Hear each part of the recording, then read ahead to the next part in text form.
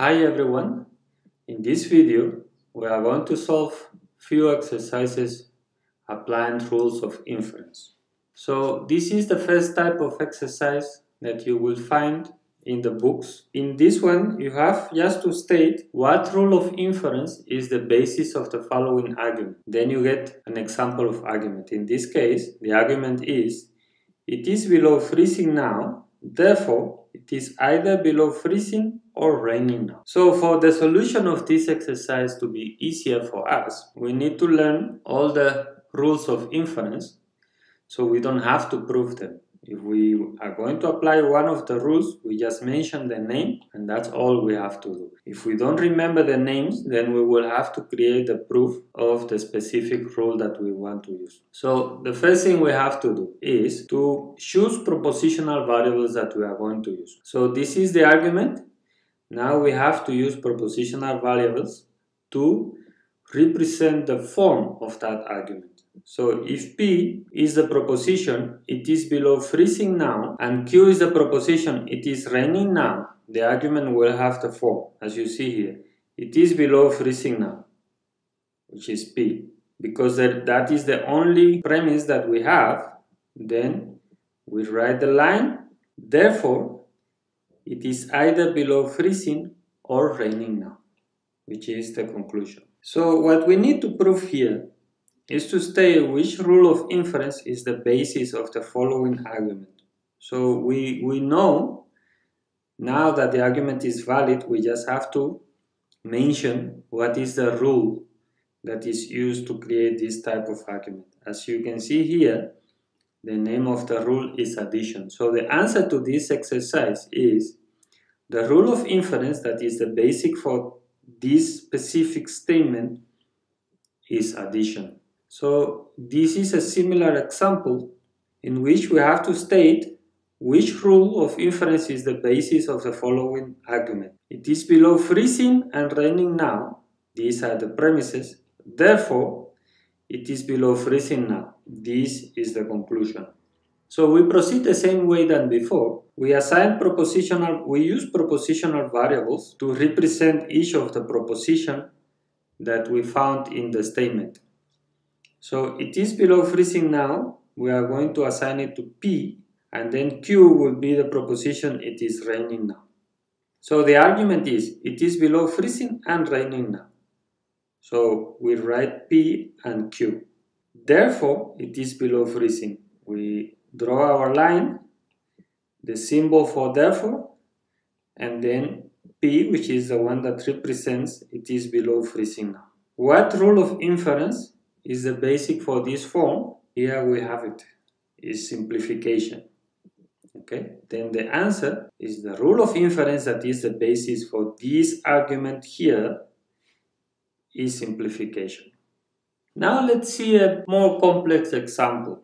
The previous examples are just for you to see that every time the first step is that we have to state the form of the argument. We do that by changing each proposition for a propositional variable. But that type of exercise are actually not the interesting ones. The interesting ones are the ones that you have to use several rules of inference to prove if the argument is valid or not. Let's see this example. In this example, we have four premises and we have one conclusion. So the premises are it is not sunny this afternoon and it is colder than yesterday. We will go swimming only if it is sunny. If we do not go swimming, then we will take a canoe trip. And if we take a canoe trip, then we will be home by sunset. Those are the premises. And we have to prove that those premises lead to the conclusion we will be home by sunset. As you can see, in this one we will have to do a bit more of work, but these type of exercise are really the interesting ones. So, as we saw before, the first thing we have to do is to represent each proposition by using a propositional variable. So, after we do that, then we will have our premises, no P and Q, R implies P, no R implies S, and S implies T. And the conclusion will be simply T. So we have to prove that if all these premises are true, then the conclusion will be also true. Let's see how we can do that. So I will just have the premises and the conclusion here, so we always have in mind what we need to prove. Then I'm going to have certain rules of inference that we are probably going to need and then let's start solving the exercise. So to solve this type of exercise we will always have what are the steps we are taking and what is the reason that we take that step. Remember, you need to justify what you are doing. So as a first step, we are going to choose, say, the first premise, no P and Q. And the reason that we are saying no P and Q is because it is a premise. Okay? So now we can say from this proposition we can deduce no P. Why? We are using simplification using 1. This is 1. We use simplification. Remember simplification rules. If you have P and Q, therefore P. And then you justify by using simplification. In this case, we have no P and Q, so therefore no P. Okay, now we are going to choose a second premise. Second premise is R implies P. And you see we justify because it's a premise. Okay? Now we, we are going to state that if we use modus tollens using 2 and 3, if you see here, this is the form of modus tollens. No Q and P implies Q, therefore no P. Here we have no P, R implies P, therefore no R. Okay, and we justify that because of modus tollens when you when we use 2 and 3, which is these two propositions that are here. Now you understand why we have to assign numbers to each step because we have to refer to those steps. It is not enough by mentioning the rule of inference, but you also must specify on what propositions are you applying that specific rule of inference. Now we have another premise here that is no R implies S. We just write it as a next step and we justify that step because it is a premise. Now, if we apply modus ponens on 4 and 5, let's see what we get. So modus ponens is P and P implies Q, therefore Q. Here we have no R, no R implies S, therefore S because of modus ponens using 4 and 5. Okay, so now we have to use the last uh, premise, which is S implies T.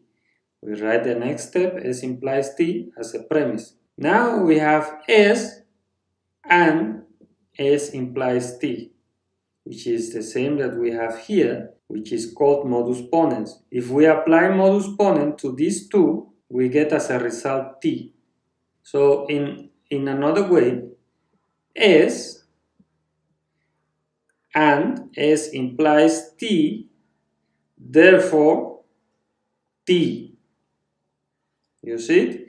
And then we justify that by using modus ponens on 6 and 7.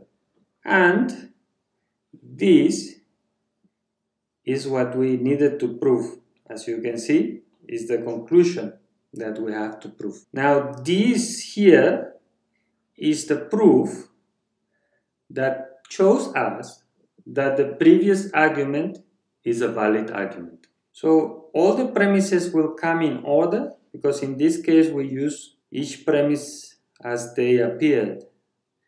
And the answer is no. You need to use them as you can see fit.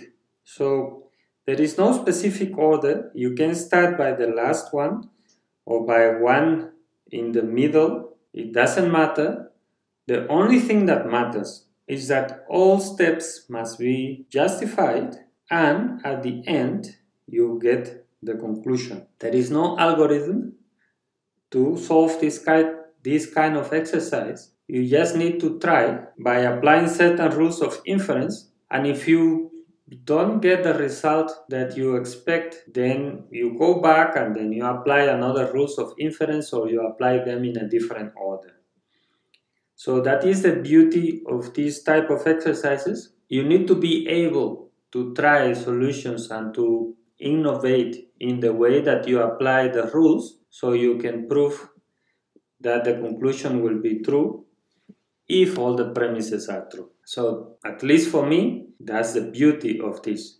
It's not that you just memorize an algorithm and you go step by step and you will have a result. No, it is not like that.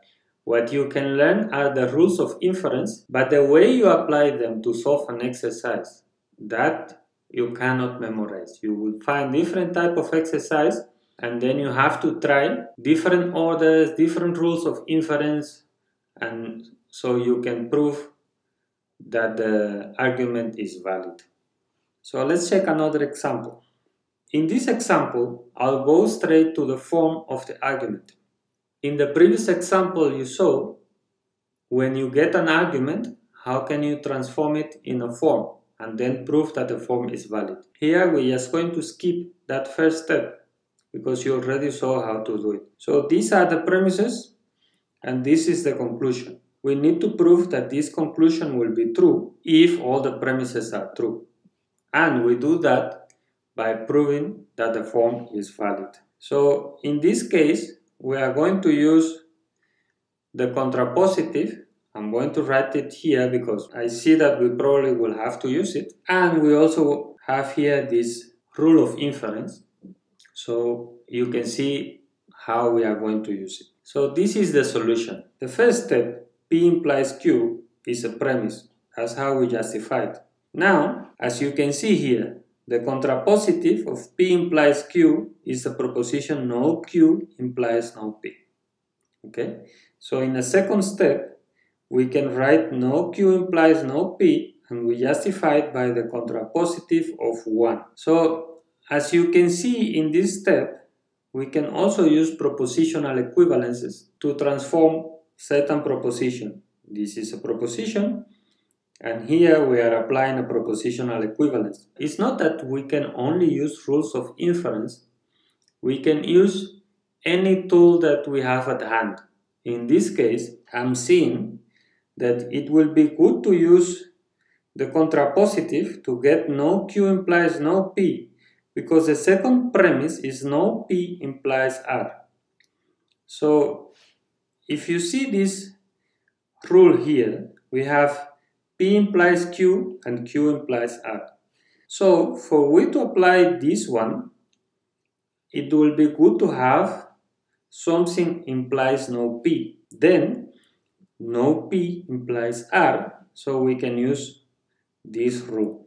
You see that is a type of reasoning, there is no algorithm behind it. The more exercise you solve, the better you will get at choosing what rule to apply. So now we have this as a premise, no P implies R, and if you see this rule, P implies Q, Q implies R, therefore P implies R. Here we have no Q implies no P, and no P implies R. Then we can say, therefore, no Q implies R. And we justify that because we are using this rule that is called hypothetical syllogism and we are using 2 and 3, these two propositions. Remember, it is not enough by stating the rule you are using, you need to mention also on what propositions you are applying that rule. Now we have R imply S, which is a premise. That will be our next step. Then we have from 4 and 5, no Q implies R and R implies S. Therefore, no Q implies S because of hypothetical syllogism using 4 and 5. And then the desired conclusion was no Q implies S. So we just prove that this argument has a valid form. So as a conclusion, for we to prove that an argument is valid, we need to prove that the form of the argument is valid. This type of proof is interesting when it takes several steps and when you have to apply several rules. And that is why it is important that we know all the valid forms, which are these rules of inference that we studied in the previous video. If you didn't watch that video, I will leave a link on the description so you can go and see what are the rules that you can use by only mentioning the name of the rule. Thank you very much for watching. I will see you in the next video.